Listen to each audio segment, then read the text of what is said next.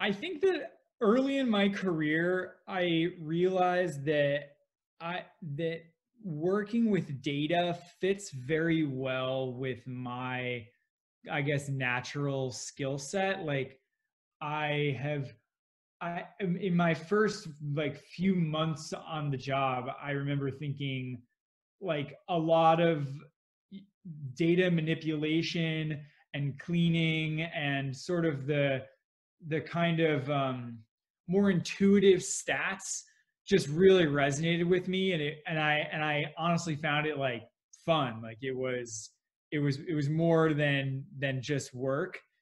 And I think that has definitely carried the day for me up until today. Like I I feel I have a, a natural inclination and draw towards towards this this kind of stuff.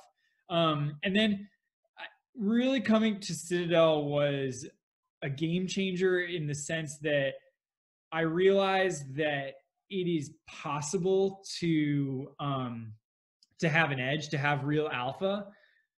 Kind of my my whole time at Quantopian, we were like working with these people from the crowd, and it was always kind of unclear to what degree like what we were after was achievable. Like, could you, you know, create a, a statistically significant edge that would just make you money, you know, over time with some degree of certainty and and I and I to be honest, like in, in, my time working there, I never really believed it was possible.